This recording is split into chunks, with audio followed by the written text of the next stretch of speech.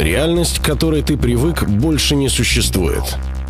Экономический кризис привел к всплеску безработицы среди молодых специалистов, лишив возможности планировать свою жизнь, строить семью, приобретать жилье и личный транспорт. Из-за несоответствия полученных знаний потребностям бизнеса, работодатели закрывают двери перед выпускниками вузов, подбирая специалистов исключительно с ключевыми компетенциями.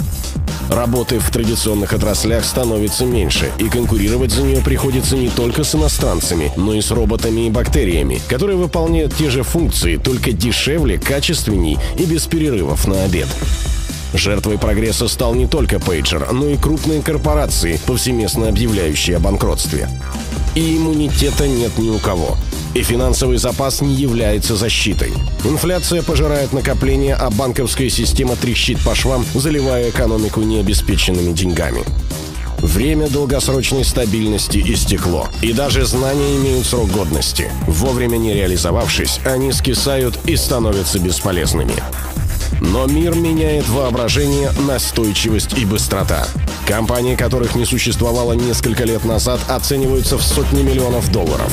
Молодые режиссеры снимают коммерчески успешные фильмы, производство которых финансируют тысячи пользователей интернета. Неизвестные музыкальные исполнители взбираются на вершины чартов за несколько суток. На политическом Олимпе вспыхивают новые звезды, организовывая волнения, перевороты и революции. А школьники и студенты становятся миллионерами, младшие из которых зарабатывают первый миллион в 14 лет.